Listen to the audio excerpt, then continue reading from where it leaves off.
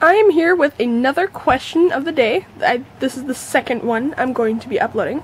So basically, oh, and I am currently filming with, uh, let's see, oh, well her butt tag's cut off, but it's Flavia, the littlekins a poodle, and she has her little necklace on and this really cute gumball machine ring that I put on her ear, and I think it looks adorable. Um, but anyways, so today's question of the day is, um, should I have like a designated day where like I tiny chat with you guys or um, Skype with you guys or something? Because I can do either. And I was thinking about like Skype Saturdays or tiny chat Tuesdays or something like that. Um, it probably wouldn't go on during the school year, but maybe for the rest of summer.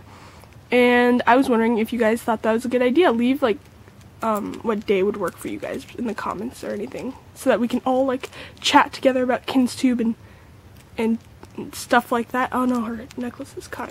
Anyways, um, so yeah, comment down below if that is a good idea. I will be picking a random comment, and that random comment gets an animal of their choice drawn for them, and I'll make a video showing them their drawing. So yeah, okay. Thanks for watching, guys. Bye.